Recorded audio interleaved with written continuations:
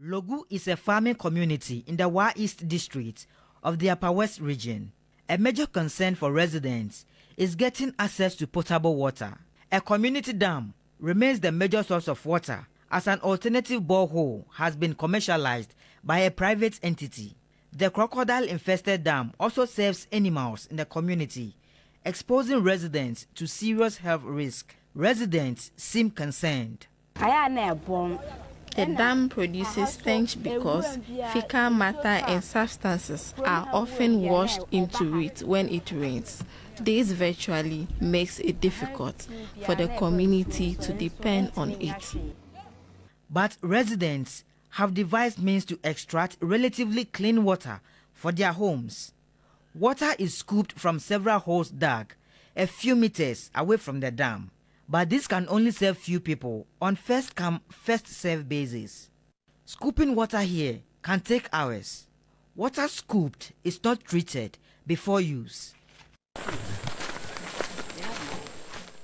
The situation is no different at Joglu, a rural settlement in the Wa West district. Pregnant women and babies drink the water, which dries up in the dry season. It's very bad looking at the health, like with health issues. If you are drinking, the kettle do come here, urinate inside. Even they do defecate inside here. And so that's where we are also drinking. It gives on our health issue is very bad. And then if you check, there are reptiles inside there, like crocodiles. And so like if women should come here, sometimes they disturb, the crocodile disturb them.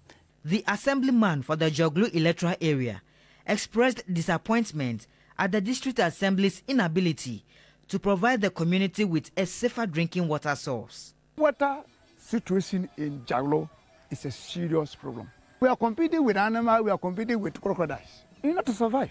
If we don't do that, where are we getting the water? As political parties prepare their manifestos for the December 7 elections, residents in underserved communities like Joglu and Logu want the provision of potable water, especially in rural communities, to feature prominently. Stanley Niblewu, TV3 News, Logu, Wa East.